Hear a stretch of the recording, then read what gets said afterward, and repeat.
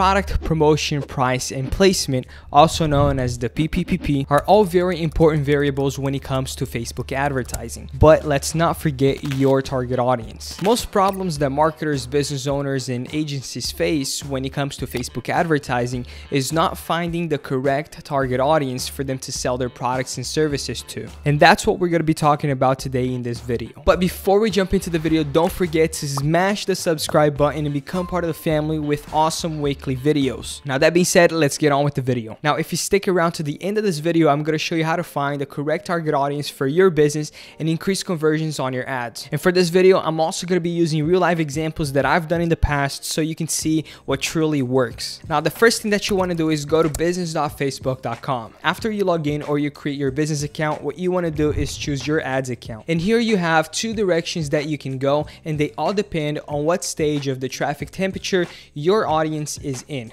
Cold traffic, an audience that has never seen your business before. Warm traffic, an audience that already consumed some type of content from your business. And hot traffic, your buyers. Also known as the top of the funnel, middle of the funnel, and bottom of the funnel. Now let's take a look at my latest campaign.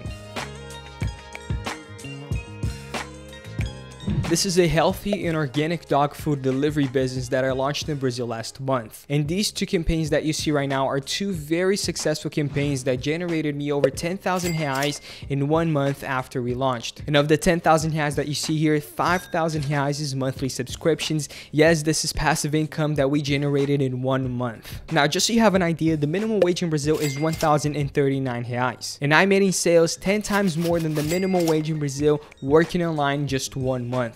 Now for this campaign, what I used was interest targeting. I wanted to use interest targeting for my cold audience. Now because the subscriptions were a bit expensive, I chose to run ads in specific locations where I knew the people living there were very wealthy. And as you can see over here, I chose the most obvious interests such as dogs, pet store, dog food, pets, and engaged shoppers. Now obviously the reason this campaign worked very well using interest targeting is because I knew exactly who my target audience was way before running ads. I knew exactly who I wanted to target. I wanted to target people living in wealthy areas that had dogs and cats at home. Now, if you don't know exactly who your target audience is, you can create a custom audience that I like to call the lookalike audience. This is basically the mother of all targeting. Now to do that, go to business tools and click on audience. Some of the best lookalike audiences that you can create are based on your previous buyers. You can export a CSV list with their name, email, location, phone number,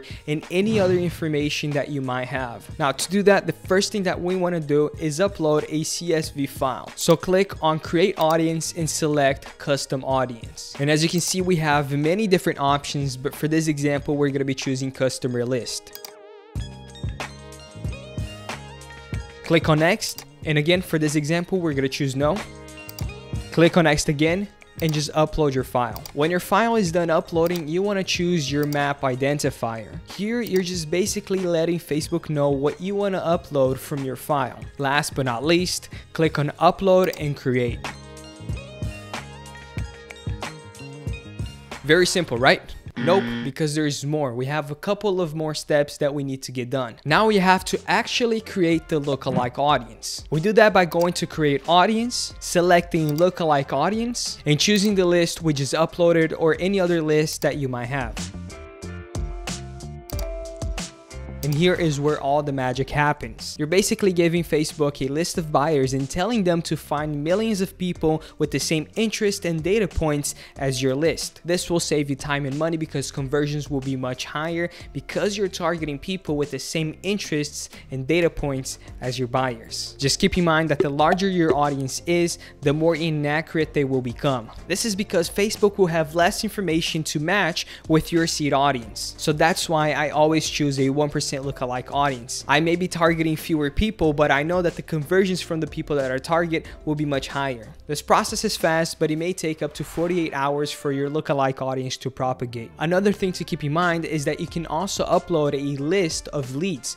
They don't necessarily have to be just buyers. But Alvaro, what if it's the first time that I'm doing this and I don't have any types of list? Well, you can split test your ads with the same creative, just choosing different interests. So this way you will know exactly exactly who your target audience is based on the conversions that you get on your ads. So whichever ad is converting more, that is more likely your target audience. And just keep doing that until you eventually build a list of leads or buyers. Or one of the things that I like to do is post a video related to my niche or the product that I'm selling with the objective to get engagements and eventually start targeting the people that watch a certain amount of minutes from my videos. This way you're targeting people who already consumed your content, which means they are familiar with you, thus increasing your conversions. Now moving on to your warm audience, aka the middle of the funnel. After you install the pixel on your website, you can then start retargeting people who have visited a specific web page, website, or have engaged with a certain event. For example, people who became your leads. And this is super easy. Again, go to create audience, click on custom audience and select website. As you can see, you can choose all visitors, people who have visited a certain page or certain time. And if you want a more qualified traffic, you can choose other events, for example, your leads. And don't worry because your retargeting ads are dynamic, meaning they're always updating the date range. So basically, you only have to create your ads once and Facebook will do all the heavy lifting for you. And this is just one type of retargeting. You actually have so many different options like who visited a promotion, people who visited your page, people who engaged with your Instagram, people who left their shopping carts empty, people who left before filling out a checkout, people who clicked on a certain button, and basically any other action that you can think of. Last but not least, your hot traffic, the bottom of the funnel. These are your buyers, people who already bought something from us. A $10 product, a $97 product, or a $997 product. The point here is running retargeting campaigns to upsell them on something else. A good example is a product launch that my dad and I did together in Brazil that generated over $1 million